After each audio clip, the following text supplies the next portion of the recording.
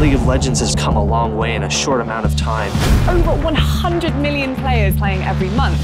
Players were just showing up in mass. It's a place where we can be ourselves. More and more people know about it. We can't lose this momentum. There's like a three-hour wait to get in a game. There was this real sense of blink and you'll miss it. This was too big, too much, too fast. The finals drew in 36 million. That's more than the Stanley Cup Finals, the World Series, and the NBA Finals combined.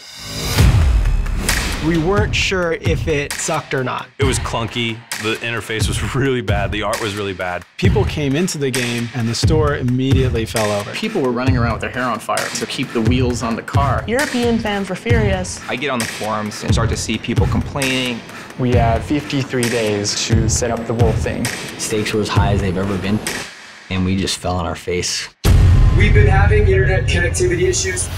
Another restart on a game would just be unfair. That's something that could totally alter the course of Riot Esports. When you're building a community, you really have to start with the individuals. It's the players that are all coming together to craft this experience together.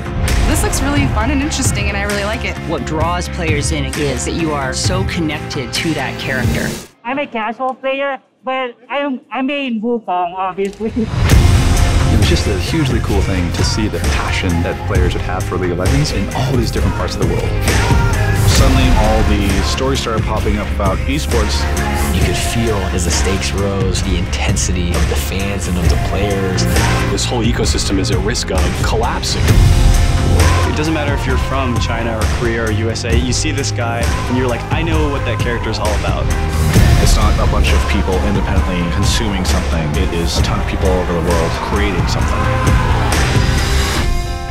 Once a phenomenon like League of Legends happens, you can't undo the effect it's had. The impact has barely begun to be felt.